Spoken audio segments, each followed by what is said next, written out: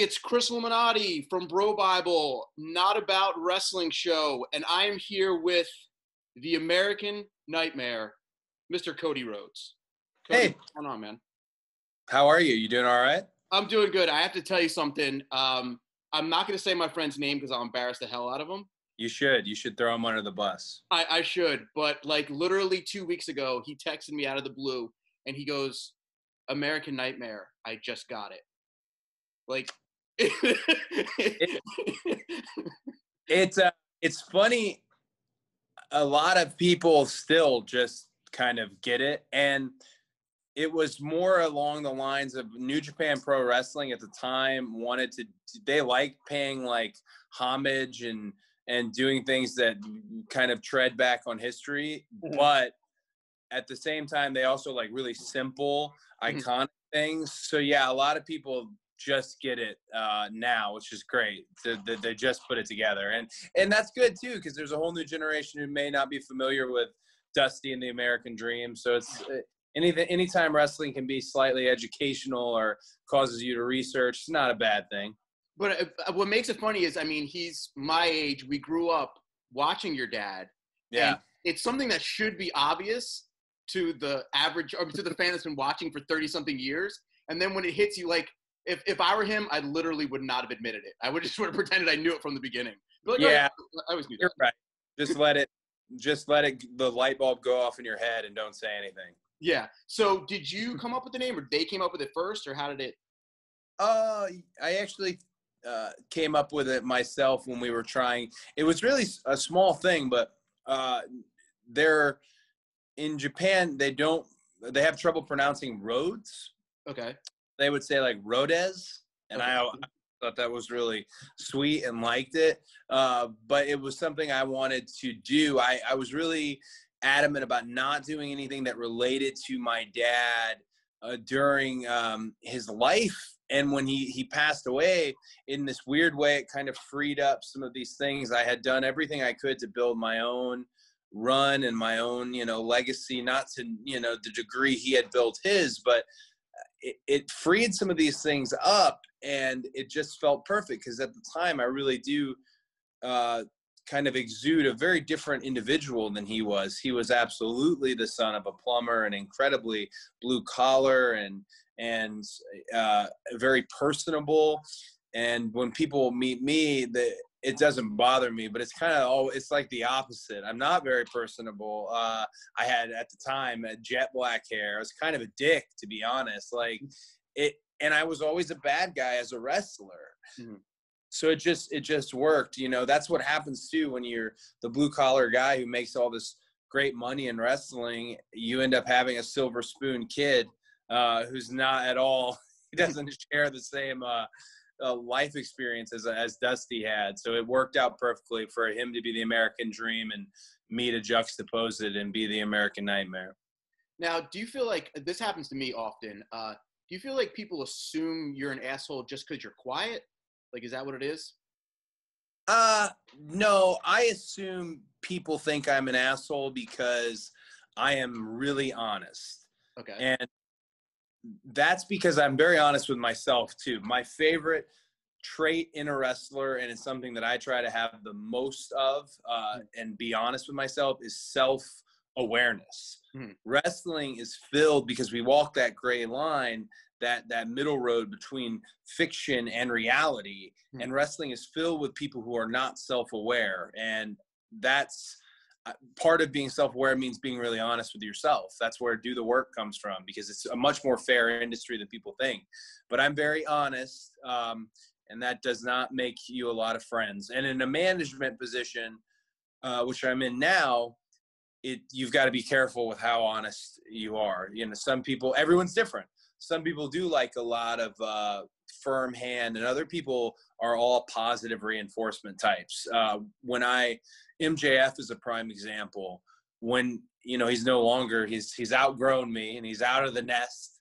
But when he was just my little protege i was m- very mean and firm and it didn't work. Mhm.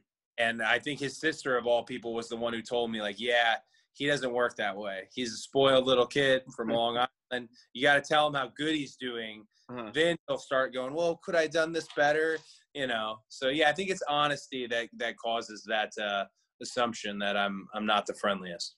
So, do you think guys come to you more or less for advice because of your honesty? I think more. Okay. I think more. Uh, wrestling is, you know, filled with you come back through the curtain and uh, great job and thumbs up and everyone's happy, or it's almost an indifference. You kind of just go by the production table and no one says anything. Uh, it's it's strange, and then you get together at the after party, or if it was, you know, when I was with WWE and you'd get in a rental car and drive to the next city, that's where you get all of it out of you. You know, uh, what, what, what did you think of this? And was this terrible or was this great? And I think more more people come to me because I'm honest because we're a startup company, a giant startup company, but still a startup. Hmm. And we don't do us any service just lying to each other or glad handing each other. The show has to be the best wrestling show ever every week. Mm-hmm. And that's difficult if you're not telling people, hey, here's, you know, here's something that I learned when I wrestled with this individual. Here's something that you might want to try. And um, I, I, like it though. A lot of, I like having people come to me and I, I try my best to, to give answers. So a, lot of the other like interviews that I listen to with a lot of the older guys, they say that a lot of the business is lost because there's no more long car rides. Where yeah pick the brain of other people. Do you feel that you kind of juxtapose that by having guys around like Arn Anderson, Tully Blanchard, always in the back, where guys might not be in a car, but they can pick their brain at any time? 100%. And that, if you're a wrestler and you don't realize why they're there, mm-hmm. uh, Arn Anderson, Tully Blanchard, Medusa were all backstage this week, hmm. and a lot of the girls went and asked Medusa questions. Uh, FTR is always with Tully. Arn sits in my office for the most of the day, and everything that comes out of his mouth mm. is is genius. Mm. It, you if you've made money in professional wrestling, if you've captivated the imagination of the audience for X amount of years and years and years, it's there's no shame in going to them. It's like having the books with all the answers in them mm. in the library, and, and, you just all you gotta do is go, just go open the book, just go check the book out. Right. Um, and not everyone does that but they will if they want to survive and endure you really are a product of the people around you and uh, arn is a great example uh, there's there's that have a legend like that and have tully uh, they're very helpful jake roberts too i'll tell you a story that uh, you know, I don't know if Chris cares, but Chris shares way too much information anyway. So I'll share a little Chris Jericho story. he had he had a match with Orange Cassidy, mm-hmm. And Chris has always been a bit trepidatious about wrestling in the pandemic era mm-hmm. uh, because there's no audience. His life is, you know, he's this master performer who's always had an audience. And he said that he he was refusing to have a bad match, that he was going to absolutely gut it out and have the performance of a lifetime because Jake Roberts mm-hmm. was in the crowd and he could see him. And he said there was no way I was going to even have anything less than excellent with Jake, who was just leaned forward, watching every second of it, because our locker room fills up the crowd half the time right now. Mm-hmm. Um, so yeah, to have those guys around is very motivating for for people like me and uh, other uh, other wrestlers. Yeah, I mean, it's got to be kind of good that when there are no fans, that the people that are there, like, yeah. Like with all that Chris Jericho's done, that he's still trying to concentrate on one person standing in the corner who's yeah. like you know so that's like part of the motivation when there is nobody there. And i actually saw um, you could probably verify if this is true or not but I, I feel like i saw online the other day that you guys have done more shows now with no fans than you have with fans. Yep. I think we just crossed that threshold. Uh oof that's a scary now when you started this whole thing you never thought you, like no one ever thought to themselves yeah so the majority of the time we're going to be wrestling in front of the locker room I I could have never envisioned where we were, and even when the pandemic, we were in Salt Lake when we knew we were flying home. A lot of us had red eyes to the East Coast, and that's where everything was getting shut down, shut down, shut down. And we knew it was going to happen. I had thought, well, we're going to end up doing these closed set wrestling tapings. We're going to be putting on evergreen content like classic pay per views or Talk is Jericho live in the ring. Some great options. Mm. But Tony Khan had kind of the foresight to, oh, well, we can do studio tapings, but let's let's do them with the the, the boys and Mm. the girls as the as the audience i mean we jokingly as a wrestler we're, we're the biggest marks of all wrestlers so Right. We're a great audience uh, for uh, for each other's matches and it was very uh, smart of him and he also was flanked by you know he's able to see what the NFL is doing Mhm. with covid policy Mhm. and how seriously they're taking it and what steps do you need to take to make sure you get everybody in one city you get them all tested you get them all safe what steps do you need to take and do that so you can put shows on without feeling guilt or without feeling like any way carny and doc sampson dr michael sampson and tony khan uh, been wonderful uh, mega 2 have been wonderful about doing these shows and doing them safely that, that that's great. I mean, it's it's so hard, especially because like, you know, now we've kind of figured it out, but in the beginning, like, nobody knew what to do. you know, no one ever dealt with something like this. No one, no one wanted to be the first one to try something should it fail. You know, like, oh, let's put maybe 20 people in a crowd, and if that Yeah. were to go wrong, so it's really hard that you're starting from nothing. It's gotten a little bit easier, and you guys have done a lot of great things, like with the stadium stampede and all that kind of stuff guys have worked around it. But eventually, I feel like you're gonna like the the canvas is starting to get smaller and smaller with what you can do. You know, as far as painting the picture. Yeah, and I, I think we're all hoping for the same thing. Is okay. Um, I feel like hopefully we're at the in the winter of the pandemic. Basically, I, we're at at the end. There's a vaccine nearby. Saliva testing is uh, becoming more pro- you know common now. It looks like than the old brain scratcher, which I had to give myself yesterday. Yeah. Uh, uh, just wanted to oh so bad. Uh, but I think we're we're feeling like we're near the end, and that that would make me really happy. To you got to do it slowly. At first, I thought, oh well, one day we'll just be able to snap our fingers and we can bring in thousands of people back. But the reality is, we've got to do it slowly. We've got to do it at a distance. Uh, it's no secret. We field tested it last week with a friends and family group of about 300. Mhm. Uh, we're we're doing everything we can uh, to get ready for it. But what, that's the thing, as an as an entertainer and someone in your your shoes to uh, doing these interviews and, and and keeping the content fresh, Mhm. content king. And we've all, I feel like, challenged ourselves and stretched ourselves that we're better creators. Mhm. We're better content deliverers now because we we went through this pandemic Mhm. um, that we can tell our kids about as if it was the you know the Great Depression of our era. I'm gonna make years from now. I'm gonna make this thing seem like it lasted years and years and years. Oh, yeah. Uh, yeah. So I think we're at the end, and if we're not, we're prepared to to pivot to keep the content coming. you know, I'm I'm gonna be a little bit selfish here. I, not that I think the virus is in any way good, but for a person like me, it's actually been a, better because I can get a Cody Rhodes on a video conference call and do an interview because you have a little bit more time because there's not the travel and stuff.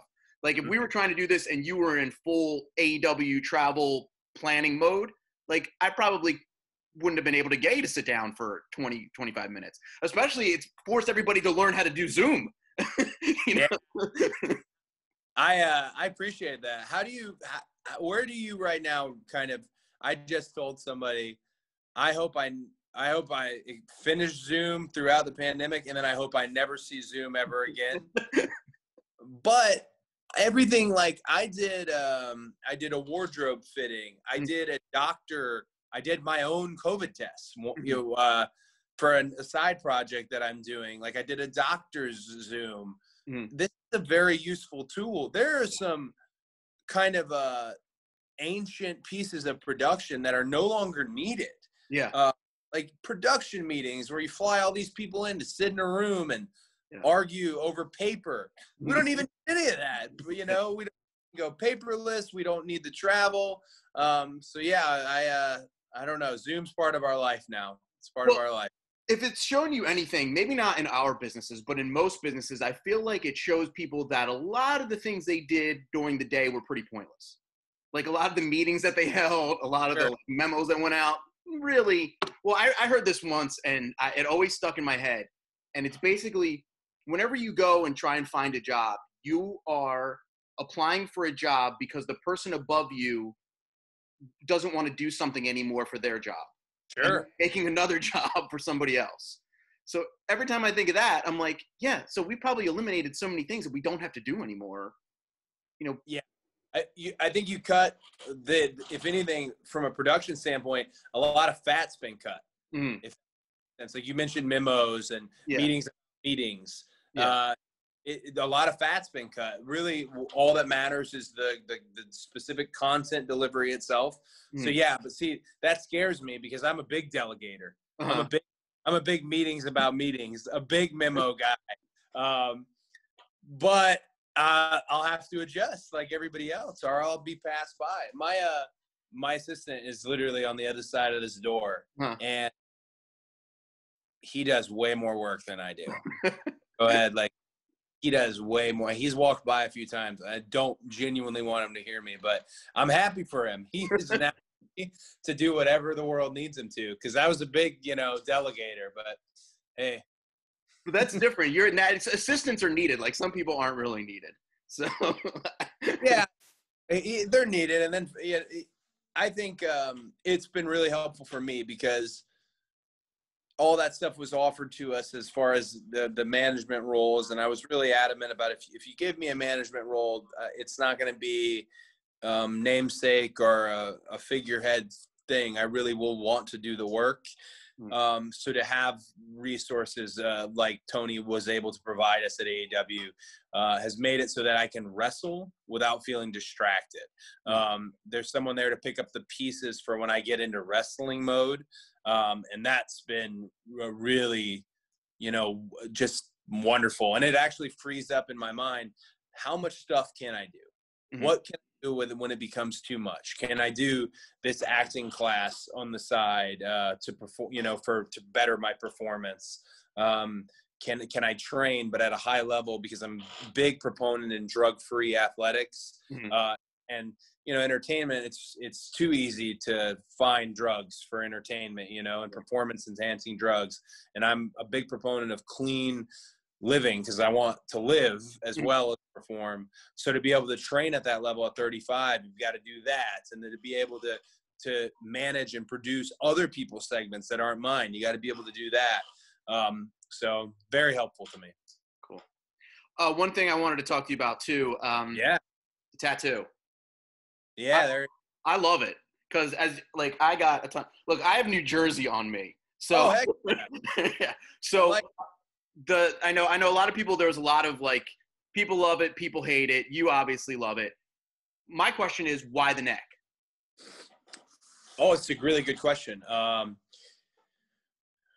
selfishly, I, I wanted to look at what I was doing. I, I have. It sounds silly, but I have big plans for myself. You know, I, I'm I'm real confident that I'm I'm going to try and continue to climb this ladder as a wrestler and to, to branch out into new worlds. And I didn't want to hide it. Okay. And I was looking at uh, Conor McGregor and I was looking at The Rock, two just marquee box office, absolute. I mean, The Rock is is is box office now, and Conor McGregor as far as combat sports. And I looked at Conor's chest, and I looked at Rock's Brahma Bull, and I just something about it was inspiring in a sense that if I did do the the Nightmare Family logo, which is on all my stuff already, whether it be my boots, my bags, everything, the mm. the team jackets, I wanted it to be seen, mm. uh, and I just thought the neck was the perfect spot. Mm. It, it's I love the design, and I had the guy who did it, it looks exactly like he showed me. Other than the fact that it's a hair bigger than I thought it was gonna be okay. uh, and that's um, you know you see people in like the gas station and such who have no clue about wrestling or anything of that nature and they look at that and it's always uh, a weird moment. You don't know what they're thinking. It's a very patriotic symbol, and this is a Mm. This is a tough time to appear as a patriotic person, or Yeah. if you are, as I feel like I'm a genuinely very patriotic person. Mhm. Uh, but yeah, no, I I love the tat. It's kind of because the internet had such a reaction to it. I think certain people are feel real like free to take shots at me at work with it a lot, and man, I don't think they see my face. Every time they do, I'm always like, guys, I like the tattoo. You Mhm. know, like, I don't share the general consensus because it's like uh, you you know this because you're you've got your finger on the pulse. Everything you do on Instagram is positive and great, and everyone loves it. Mhm. Everything you do on Twitter Mhm. is the worst thing that's ever been done. You're killing the industry. You've destroyed blood. So really, I, I I'm on an Instagram reaction to the tattoo when a lot of people are on their Twitter, you know, feed on it. You know, hey, it was polarizing. It was something to talk about. Well, let, let me give you a little hint as a guy who works in the internet. Yeah. There are many people who, so say Cody gets a neck tattoo, they'll go and see the reaction, and whatever the majority reaction is, they're going to go against it. Of course. So it doesn't matter. so they're going to take the opposite side, whether they agree with it or not. Yeah. that's how it works. And Yeah. Beautiful thing. yeah, that's just that's just it. So, um, t- two questions. One, did it hurt? Mhm. And two, does it make you want to get more? So it- hurt a lot. uh, I it hurt a lot, and I was trying to kind of be tough throughout. Mm. So I just waited, and finally the guy he said, you know, you can take a break if you want, and I was oh great. And then I have, and when I took the break, it was almost completely done at that point. Okay. and I thought, oh, I did really well. Like I, I did really well for this. Uh, yeah, it, it it was real, like um, not like the worst pain, but real jarring, real like teeth grinding pain Mhm. because it was right there on that vein, and even when you like touch it now, I can still it's like a phantom pain. Yeah. I can still kind of feel it a little bit. So it did hurt. Uh, and then what was the second question? Does it make you want more? No, No more? No. No, I uh I want because everyone's like, oh, you got to connect it to something. You got to, Yeah. You gotta do this. Like, nah, I'm good. Like that was it. If I if I got another tattoo, I'd probably get Pharaoh, my dog, Okay. somewhere. No, he's in here too. Pharaoh, come here. You gonna say hi? You gonna say hi? Sorry, he's had to come to work today because It's okay. Hey, Pharaoh. Hey. Hi. yeah. he- Who who paces outside more, your assistant or the dog? Oh, so Pharaoh is on the mend. He's got a torn ACL. Oh no. Yeah, he's just laying here. Oh, Uh, no. be, yeah, he's a. He, I don't know. I didn't even know dogs had ACLs. oh. So how Yeah. did how did he do that? He, we think he's got an ongoing feud with a neighbor dog where they run up and down the fence. Ooh. We think that the Pepper, the neighbor dog, finally just out out sprinted him. But he's a husky, so he doesn't let you know he's hurt. He's just Ah. walking around on three legs. Um, and then we saw he's he's got hurt, but he's gonna be okay. He'll be So- fine. So he's more the baby face in this. He's the, he's not gonna he's kind of like Oh, that other dog's a, that other dog's a heel piece of shit. That I'm sorry, I don't. I that dog. I like all dogs. I've tried several times to slip treats through the fence. Huh. His pepper, and he's a total. He's a total heel, and he doesn't listen to his family. They always try to get him, and it looks like a whole calamity. Well, I've never spoken to the family at all. Uh, but Brandi's starting to. She's at her wits end with with Pepper. I like all dogs though. uh, So I don't miss him if he wasn't there because he's like the heel in Pharaoh's journey, you know? Yeah, you know you know if you were gonna say to me I met a dog named Pepper, I'm just gonna assume heel. Like that just sounds like a heel name. Yeah, he's a- street dog. You know what I'm saying? He's a street. Yeah. Um, so that leads us. That actually leads us to something I want to talk about too: promos. And uh, real quick, I want to talk about your promos, and then hopefully this works. Sure. Um, I, I have three audio clips that I want to play from you for you Yeah. of old promos. Hopefully you can hear the audio. But first, I want to talk about your promos. Uh, do you tend to? Because I, I like them. They all seem real to me. Do you tend to like kind of map them out in your head and then speak off the cuff, or do you kind of have like how does that work? so the secret to all everything in a wrestling promo, all the classic great wrestling promos, Mhm. Never believe anyone if they say, "Oh, I just was going off the cuff." Mhm. Maybe they didn't write them down. maybe they didn't rehearse them, but they definitely did them in their car, uh, in the in the mirror. They definitely did them at the gym when you see these wrestlers walking around muttering to themselves. Uh, they definitely did work on them a great deal. I work on mine to the same level. I, I, I hold my standard to the same standard that you would hold a monologue on a TV show. Mhm. Um, it's field tested, it's reworked, it's voice memoed, it's listened to, it's sent out to the people I trust. I spend if I know I'm going to have a rest an interview, Mhm. I spend every day between shows working on on that interview. So I'm a big, uh, like I said, memo and meetings about meetings.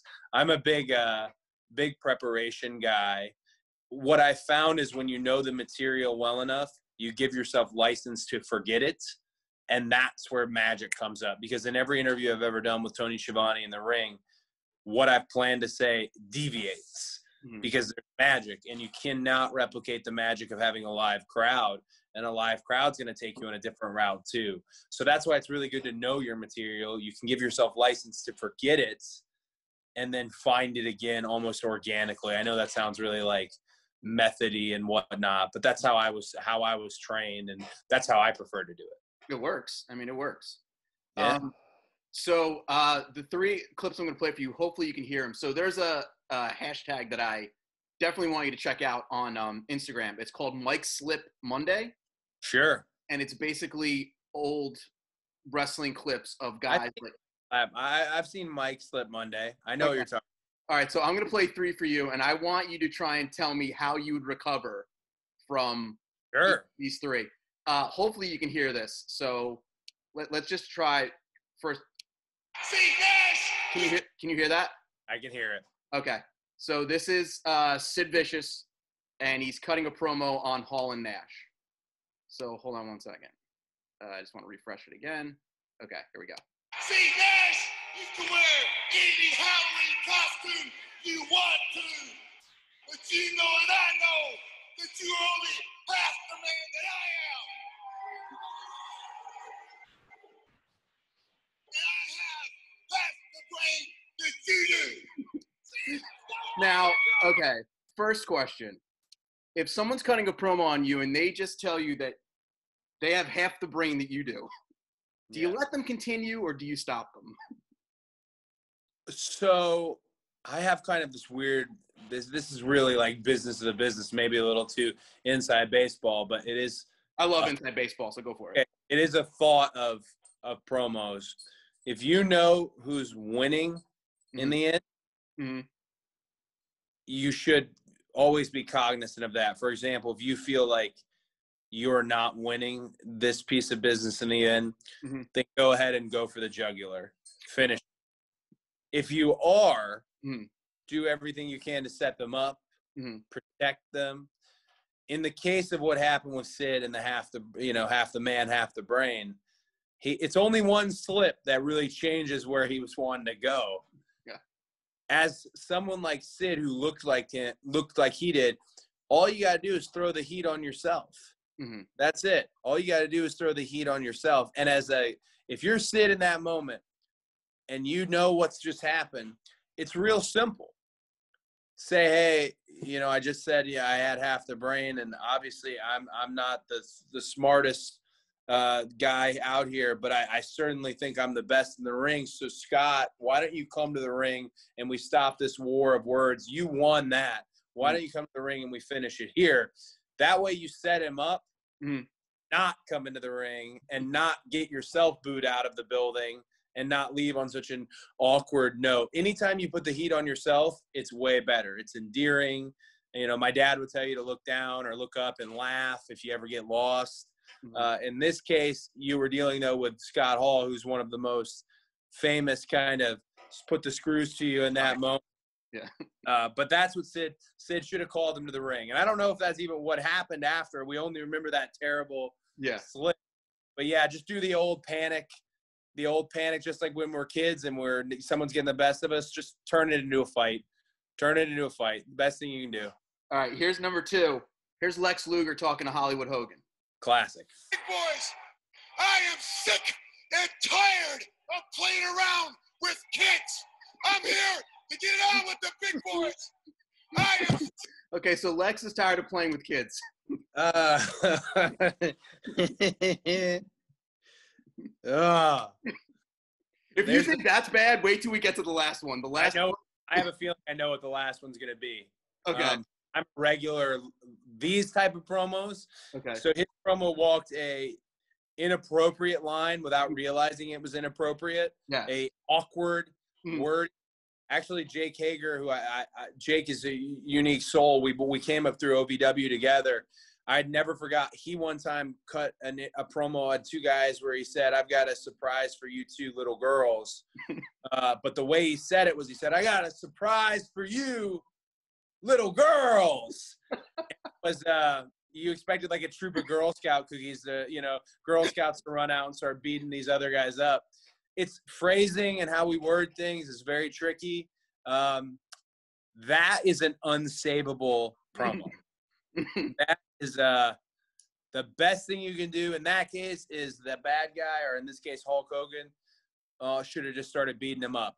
Uh, then people maybe feel feel you know feel bad for you and then want you to cheer you up, but that is unsavable. There, even even who I feel like I'm a master of the interview, like that is no. There, there's nothing you can do to come back from that. Uh, I'm trying to really scratch in the time it would take to come up with a proper, concise response. This segment would have been over. So he's screwed. Do- all right. So do you want to take a guess on the last one? Is it Magnum TA talking about, talking about? Yep, I know.